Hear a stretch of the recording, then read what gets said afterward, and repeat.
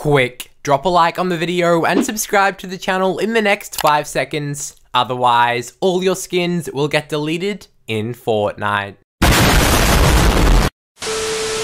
Yo, what's up guys? My name's Imack, and in this video, I'm going to be telling you the new return release date of the superhero skins. But just before we get into it, I would like to let you guys know that I do give my subscribers all the time here on the channel.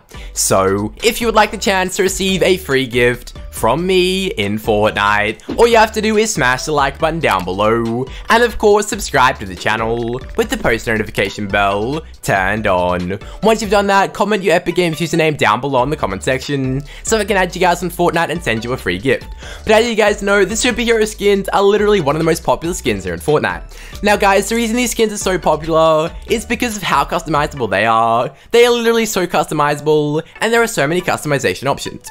My favorite customization option is the fact that you can literally put an emoticon sticker on their chest and on their back. That's my favorite thing about the superhero skins, and that's why I love them so much.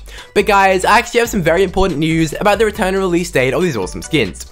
As you guys know, these skins are literally one of the most popular skin sets in Fortnite history.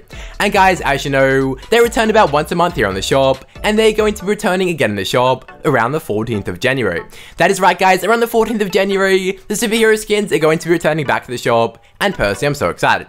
Of course guys, when they do return, I'm going to be gifting them to a bunch of subscribers. So if you guys want a chance to get them gifted, all you have to do is drop a like on the video, subscribe with the post notification bell turned on, and of course, comment your Epic Games username down below. But yeah guys, that was the video. I just wanted to make this video telling you guys the new return release date of the superhero skins, so I hope you guys enjoyed.